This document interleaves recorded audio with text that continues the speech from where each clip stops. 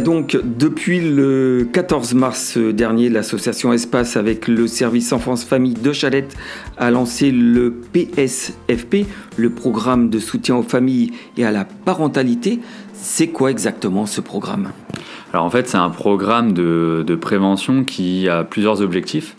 Euh, qui vise à la fois en fait à de travailler les compétences parentales avec les, parents qui viennent, les familles qui viennent euh, sur le programme, et avec les enfants de travailler ce qui s'appelle les compétences psychosociales, donc euh, tout ce qui est la gestion des émotions, savoir communiquer, faire preuve d'empathie.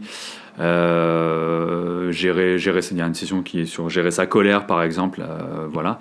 Et en fait, le but global hein, du, programme, c'est d'améliorer le climat familial, en gros, c'est ça.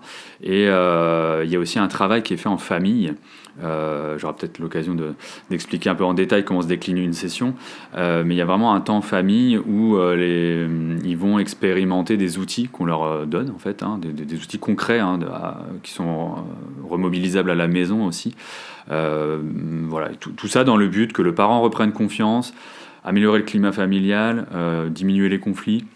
Euh, voilà, dans l'intérêt et des parents et des enfants.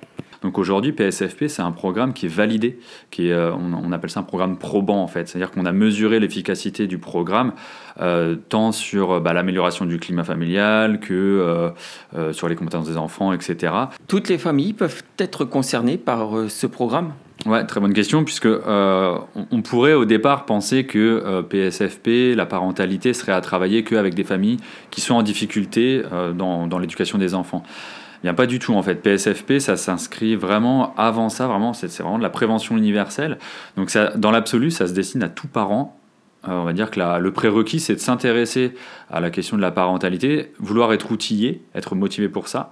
Euh, on peut ne pas avoir de problème particulier avec son enfant et venir à PSFP parce que ça, ça peut quand même apporter un, vrai plus. Et euh, on va dire quel parent n'est pas à un moment donné, euh, je sais pas, parfois un peu euh, bah, dépassé par la colère de son enfant. Euh, ou, des fois, des, fois on, se sent, comment dire, on se, flagelle un peu parfois en tant que parent à se dire ah mince j'ai réagi comme ça j'aurais pas dû donc on, est à un moment donné tous en tant que parents des fois en galère hein, clairement sur certaines situations euh, et qui méritent d'être travaillées alors je précise un truc c'est que euh, nous dans le cadre de PSFP moi, par exemple, j'anime le groupe euh, sur les, plus sur les parents. je ne suis pas un expert de parents. Je suis pas un top papa, quoi. D'accord? Euh, Par contre, je suis un expert du programme, des outils qu'on propose. Donc, les familles, elles sont reçues vraiment sans sans morale, quoi, sans jugement. Euh, on est justement là pour valoriser les parents dans leur pratique parentale aussi, au-delà des outils. Euh, donc, euh, si j'ai un message à donner aux parents qui souhaiteraient venir sur le programme, euh, c'est voilà, on vous accueille sans, pression, quoi, sans jugement, et on est tous, on est un peu tous dans le même bateau hein, sur la sur la parentalité, et on profite du groupe vraiment, parce que ça, ça mêle environ une dizaine de familles, hein, et on est là aussi chacun pour partager en fait à la fois ce qui, les difficultés, mais aussi ce qui fonctionne, quoi. Les familles qui sont visées, ce sont des parents euh, alors par famille, hein, ça peut être vraiment au sens large, hein, Il y a des familles monoparentales, euh, des fois dans l'éducation d'un enfant, ça peut être plutôt les grands-parents qui, euh, qui sont moteurs au niveau de l'éducation. Euh, dans c'est des cas de figure où vraiment ils peuvent aussi venir en tant que grands-parents. Euh, et c'est la tranche d'âge, c'est les 6-11 ans. D'accord? C'est-à-dire qu'en en fait, il faut être parent d'un enfant de, qui est entre 6 et 11 ans. Après, on n'est pas rigide. Hein, si l'enfant a 5 ans et demi euh, et qu'il a vraiment une vraie, un vrai intérêt, une vraie motivation, on, on intégrera. quoi. Mais la tranche d'âge, c'est celle-ci, 6-11 une journée type, enfin un programme type, ça se passe comment? Alors comment ça se passe concrètement?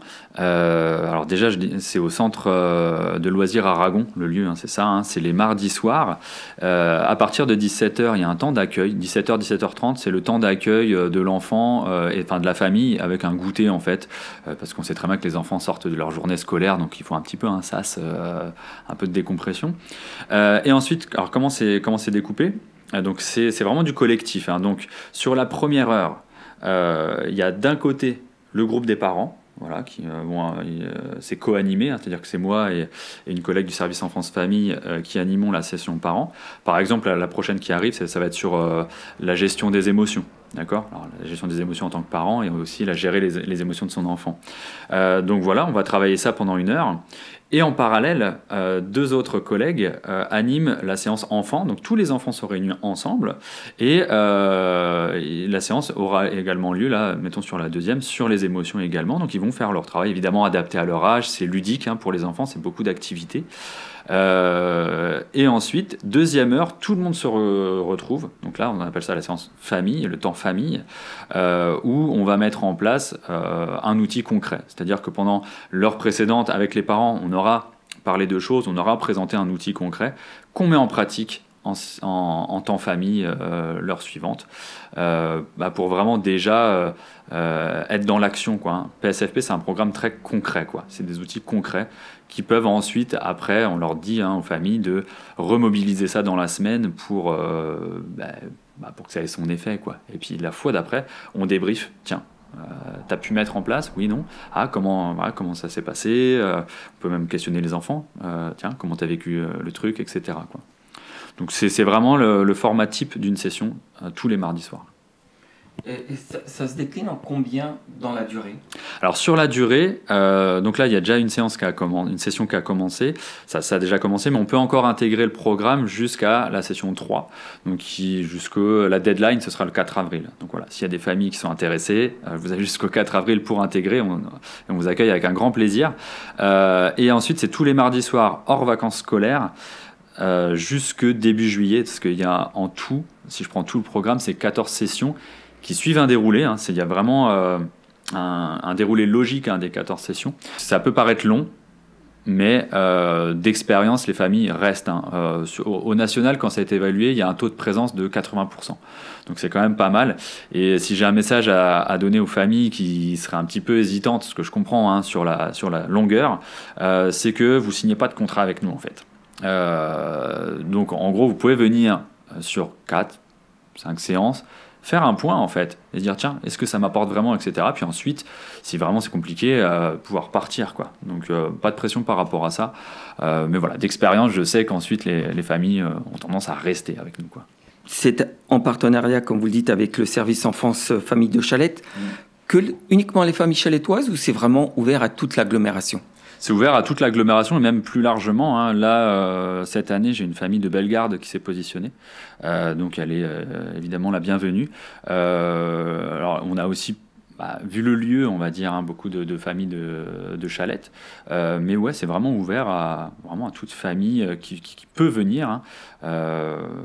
N'y a pas, c'est pas limité à un, territoire donné, quoi. Et justement, pour ces familles qui seraient susceptibles d'être intéressées, elles s'adressent et s'inscrivent où? Alors, elles s'inscrivent auprès de soit du service enfance famille, si euh, voilà, il y a une il y a déjà une attache euh, avec la mairie de Chalette, elles peuvent voilà demander le service enfance famille et s'inscrire. Et elles peuvent sinon, moi, me contacter euh, directement. Alors je laisserai, je sais pas si je laisse mes coordonnées. Ouais, on pourra, on pourra les laisser euh, peut-être en bas de l'interview. Euh, et voilà, elles, peuvent m'appeler vraiment en direct. D'ailleurs, si, jamais il y a une famille qui est encore, enfin, que ça intéresse, mais qui serait un peu hésitante parce qu'elle a besoin d'en savoir un petit peu plus, notamment sur peut-être l'ensemble du programme, euh, la famille peut m'appeler. C'est pas engageant.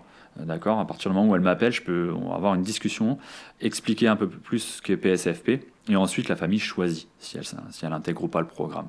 Il faut vraiment adhérer en, en toute liberté, quoi.